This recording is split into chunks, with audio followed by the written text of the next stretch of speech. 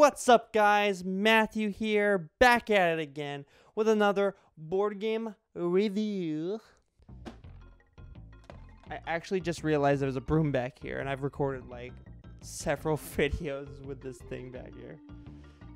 God damn it. Today we're looking at Broom. It's a great cleaning device. It's a great tool uh, to get all the dirt and uh, dust off your floor. Today we're gonna look at a game called. Fuck. Jesus, I am so off the ball today, man. Today we're gonna look at a game called Pandemic by Matt Leacock. You ever just wake up in the morning and think to yourself, man, wouldn't it be great to be a hero? Wouldn't it be great to alleviate the world's problems? Every virus swept off the face of this earth, every human surviving these terrible diseases, everyone living another generation, living another life, another life to live. If that's a, that if that's what you were thinking, then perhaps it's time to get your ass out of bed and get yourself into a lab to play some pandemic. But speaking seriously, it's a cooperative game where you're playing against the game itself in order to find four cures to four deadly diseases across the globe. And you, along with your ragtag group of friends, are going to work together to try and find these four cures. The game takes place on a real world map of the, the world, and you will be flying from place to place, uh, ta- taking off viruses, setting up research stations, and the whole the whole shebang to finally find an end to this virus madness that's spreading in the world. In this edition that I have, there are six classes, um, and I believe this edition is a newer one, so they added two more classes uh, to the regular character lineup. Uh, but uh, so if you're thinking about getting an older edition, you're going to be missing out on two of these characters. But essentially, you have we have a medic, contingency planner, dispatcher, quarantine specialist, operations expert, and scientist. You and your teammates will be given one of these roles to play, and and, and you will harness your abilities, your special abilities, to try and beat the game. Each class has a special has a special ability that only that specific individual can do, which bypasses certain um, regular rules of play. There are two decks in the game. We have your play deck, and then you have your infections deck. The infection deck is where the game will play itself, and it will spawn uh, infections in certain areas of the world. The play deck is where players will be drawing cards from, and it will also include the infamous epidemic cards, or as I like to call it, um, super super not fun death cards. That that's canon. The way you set up your game is you draw nine cards from the infection deck, separated into piles of three. The first three that you drew are the cities which will feature three cubes on at the beginning of the game. The second set will feature two cubes, and the third set will just feature one cube and that's how you you open the board up. That's how the board uh, will start uh, when you play the game. There there are a couple ways to lose this game. If your outbreak meter reaches re- reaches the end of its rope, and we'll explain the outbreaks later. If the deck runs out before you find the four cures, and if you run out of one color of the virus cubes. If any one of these conditions are met, everybody loses. Let's talk about everyone's turn.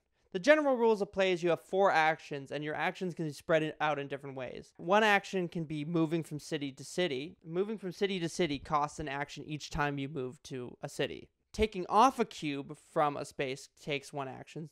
So if there's three cubes on a space, it's going to take you three actions to get all three cubes off the space. Flying somewhere, if you have a if you have a city card in your hand and you discard that specific city card, you can fly to that specific city, which costs an action. Alternatively, if you're on a city and you have a, a, city card that matches the city you're standing in, then discarding that specific city card will let you fly anywhere. Building a research station, if you go to a city in which you have a card of, then discarding that specific card in the city that you're you're in will allow you to build a research station, which will help you find cures. Finding a cure, if you discard 5 cards of the same color class, then you can cure that color disease. There's yellow, black, red, and blue diseases. You can fast travel from research station to research station without having to discard cards as an action. And finally, you can share knowledge, which is essentially meeting a player at a specific city to take uh, the card of the respected city that you're meeting in. You don't just have to take from a player, you can also give to a player. Again, if the conditions are met, like you're in the right city to give that specific card. Once you've completed your four actions, then you draw two cards. And after that, the game will play. So there's a little meter uh, under the infection deck in which it will tell you uh, how many cards that the infection is going to draw. So at the start of the game, the infection deck will draw two cards at the end of each and everyone's turn. But at, but as you draw epidemics, then the meter will go up until you're drawing like four cards maximum. Just like when you set up the game board, drawing a card from the infection deck will place a cube on the city that was drawn. A city can only hold a maximum of three cubes. If a fourth cube were to be placed on a specific city, then it outbreaks. And like I mentioned before, the outbreak meter, um, whenever there's an outbreak, then you move the meter on the board up one. If it's a double outbreak, the meter moves up two. Triple, same thing. Oh, baby, it's triple! When a city outbreaks, it places one cube onto its connecting cities. Now, as I mentioned before, we, have epidemic cards, which are the, the bad cards to draw out of the player deck. Essentially, when you draw an epidemic on your turn, then you have to draw the bottom card from the infection deck and place three cubes on the city that you drew. After the three cubes been placed on the city, then the disc then the infection discard pile gets reshuffled and placed onto the top of the infection deck. This is to kind of like solidify the whole idea that once an epidemic occurs, it's going to occur into similar cities that have already been hit, which is a, which is I think is just a brilliant convention. It, it just makes it makes it feel more immersive. And when you draw the epidemic, then you move the infection tile up one. And like I like I mentioned before, the game will end once four cures have been found. So all you got to do is go to research station, have five cards ready of the color that you're trying to cure, and then discard them as an action to cure it. Additionally, although it doesn't count for completion, you can also eradicate diseases by one, curing them, and then two, getting rid of all the cubes in that respective color area that have been cured. Cured diseases are easier to eradicate because once they are cured, then it only takes one action to lift all cubes off of one city, as opposed to one action per cube.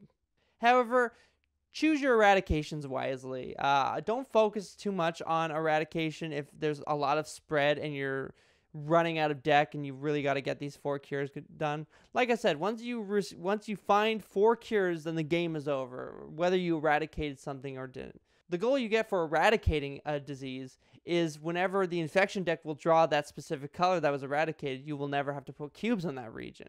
It's a huge bonus um, if you can get it fast. There are also event cards um, which you can play at any time. And these event cards are like an airlift, a one quiet night, which can give you like, you know, a free night without having to use the infection deck, and a lot of a lot of good bonuses that um, you can take advantage of. Again, you don't you can use these cards at any time. Um, they're little bonuses um, sprinkled throughout the uh, the player deck. But other than that, that's about it with the game it's it's a fantastic game a really easy to pick up although it like it looks very uh, complex from you know the get-go and from like looking at the board and just the amount of options you might have. It's actually really simple to kind of get into it. It's all about who your character class is. Your character class will be dependent on your strategy more or less. And trust me you want to be doing as much as you can to win the game before the game beats you. It's a fantastic game. It gets people together. Um, I love cooperative games um, in general. I think, you know, competitive is fun, but just the idea of just working together instead of working against each other just, you know, mixes things up and just allows for some variance of gameplays. This is a this is up on the list of high, highly recommended. I can't recommend it enough. Anyway, thank you for watching this review on Pandemic. I, I hope you enjoyed it, and I hope that if, if nothing else, these videos are gonna inspire you to go out there and try these these games out, or or try and find uh, a, a game that you or a game or genre that you want to get into. So leave a like if you enjoyed, and um, subscribe for more weekly board game content. We've got a ton of it coming out, dude.